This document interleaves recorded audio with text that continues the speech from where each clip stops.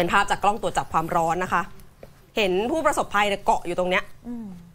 รอความช่วยเหลืออยู่ริมผา ปฏิบัติการในภาพเนี่ยเกิดเมื่อวันอาทิตย์ที่ผ่านมาตามเวลาท้องถิ่นในสหรัฐ เจ้าหน้าที่เอาภาพมาเผยแพร่ผ่าน Facebook ของเป็นสำนักนายอำเภอเขตโซโนมาในรัฐแคลิฟอร์เนียสหรัฐนะคะ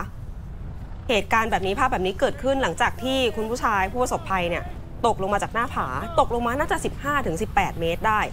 อยู่ใกล้กับแบตเตอรี่อเล็กซานเดอร์เทรลเป็นเหมือนทางเดินป่าค่ะ อยู่ใกล้กับ Golden Gate National Recreation Area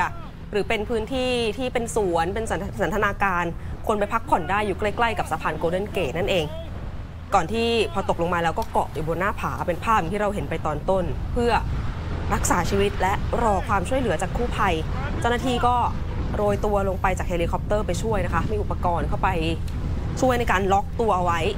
พยุงตัวผู้ประสบภัยเนี่ยแล้วก็ค่อย ๆ ดึงขึ้นมา จะสังเกตเห็นแบบลมแรงจากน่าจะเป็นแรงลมจากใบพัดเฮลิคอปเตอร์ด้วยนะคะเนี่ยภาพความช่วยเหลือจากเป็นน่าจะเป็นภาพจากกล้องติดตัวเจ้าหน้าที่ค่อนข้างทุลักทุเลเลยทีเดียว แต่ก็ยังโชคดีที่เจ้าหน้าที่ไปเห็นแล้วก็สามารถช่วยเอาไว้ได้นะคะ